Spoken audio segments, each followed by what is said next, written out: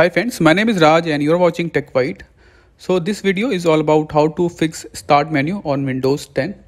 So in this video, I will show you some troubleshooting method to fix this start menu on Windows 10. So let's start with our first method, restart Windows Explorer.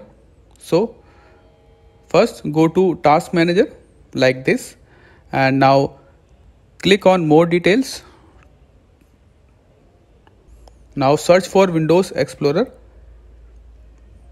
and choose restart. Now click on restart. That's it. So let's move on our second method. Start your PC in safe mode. So again go to task manager. Go to file then click run new task. Now you have to type msconfig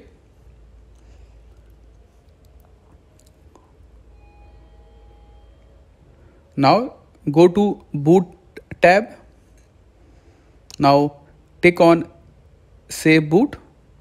Now press apply and ok now click on restart.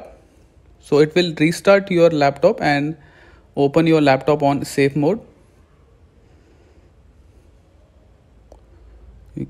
Now you can see. Now again open task manager. Do the same process again. Go to file option. Click on run new task. Type msconfig press ok I will cut this window. Now go to boot tab again. Now untick this option safe boot. Now click on apply then ok. Then click on restart. So after restart your window will open on a normal mode. So let's move on. Our third method is run FS, ffc command so again go to task manager. Click on file. Now click on run new task. Now you have to type PowerShell and take the below option. Create this task as administrator privilege. Click ok. Now you have to type a command here. Sfc space scan now and press enter. It will scan your laptop and check for corrupted files. It will take around one or two minutes to check uh, your PC or laptop. So in my case there is no issue with any file.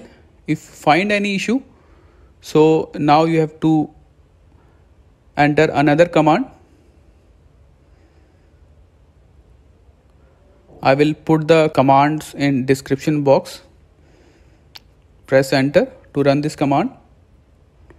Make sure your internet is working. With the help of this command uh, it will uh, download all the corrupted files from internet and repair all the files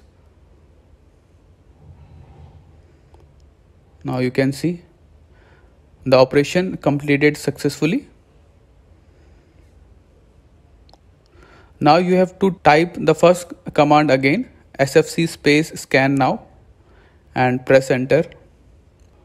I will fast forward this uh, video.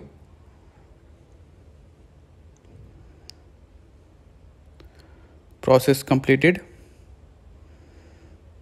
No issue found in my case so that's it